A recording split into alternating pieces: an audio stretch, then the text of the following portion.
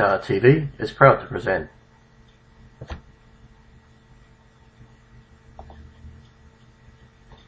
Innovative HR and Payroll Reporting.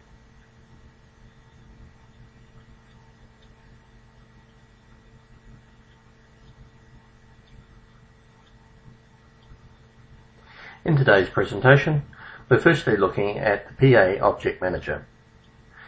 We'll firstly introduce ourselves to the PA Object Manager and look at two ways to, that we can use it immediately. No configuration required. Then we'll look at, with a little bit of simple configuration, what it can do for inter simple interactive reporting. And finally, we'll look at what it can do in conjunction with other developments. For example, payroll reporting info types. The second part of the query, in another video, will show SAP query. We'll cover off the myths, the do's, the don'ts.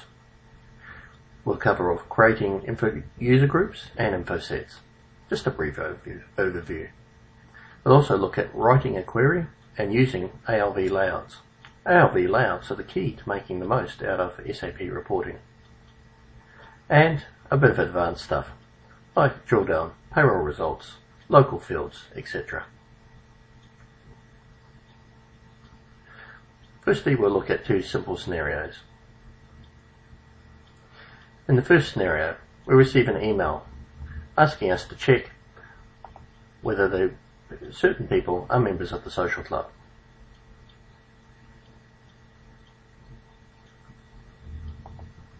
Now how would we do that at the moment?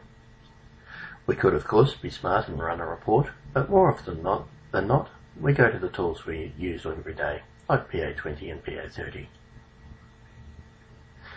A common approach seen is to print off the email, walk to the printer, collect the printout, and place it on your desk with a ruler or piece of paper across it.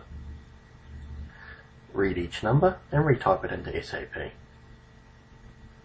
We'll probably want to check the names or numbers been picked up correctly, then choose the info type we want to look at. In this case, we'd be looking at info type 14 to see if there was a deduction for that social club in there. We then need to view or copy out information as required and repeat for the next employee. Again, if there was a large number of information of employees requested, we'd probably take the time to run a report. But just for a small list, more often than not, we'll probably do it this way. The second scenario is receiving a phone call. Just asking, can you, if we can just please check that we have or in fact hold home phone numbers for all employees in the emergency planning department. Someone's asked the question and they just want to know. Again, how would we do that? A first step would be finding out who is in the emergency planning department. We might look at PPM OME or run a report. We ran a report, again, we'd be collecting that report and then retyping the information in so that we can look at the info type and subtype, in this case address, to view whether the home phone number is maintained.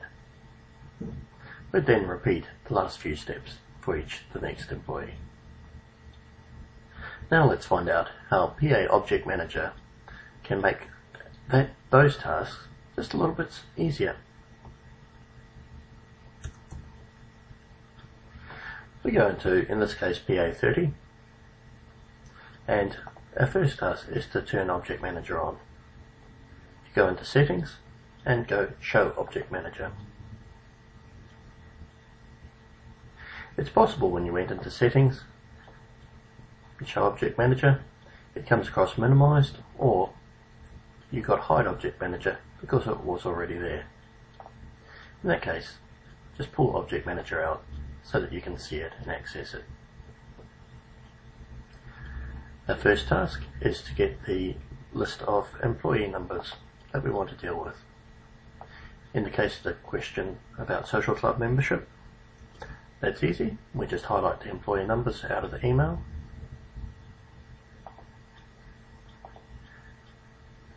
Choose pre-search. Choose the personnel number field.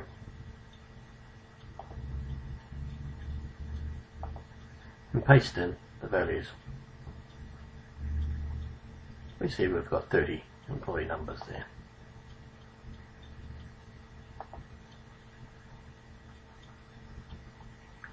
Employee numbers are now available to us on a list in the work area of the object manager.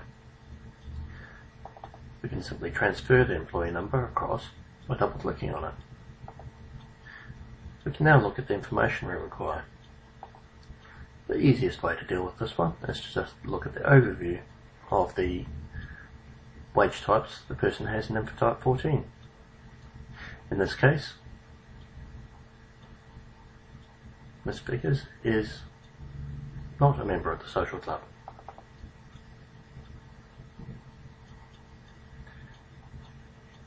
But double clicking on Susan Kinsley, we can see that Susan is a member.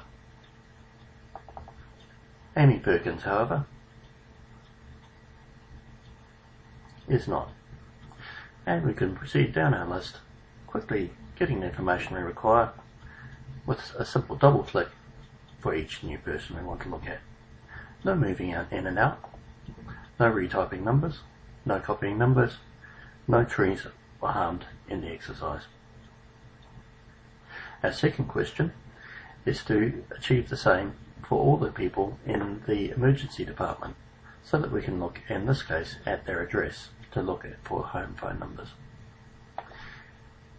In this case, we'll do a search We'll look for people assigned directly or indirectly to an organisational unit.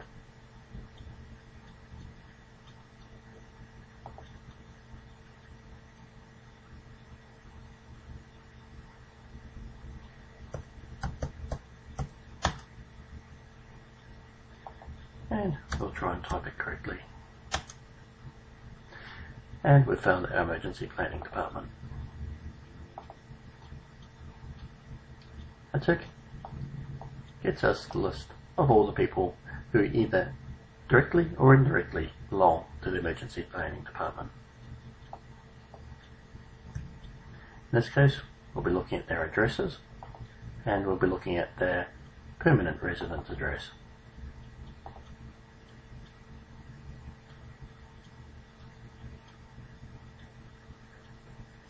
So we can see that Lazio Lent does in fact have a home emergency phone number.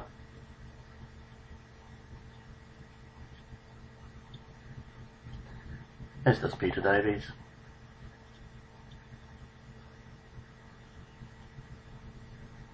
Robert Davies, however, doesn't.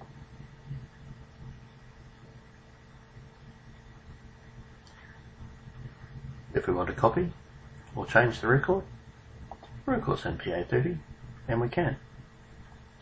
So if the person who phoned us was still on the end of the phone and they have access to these phone numbers, we can ask them to call them out to us and complete the exercise in one go.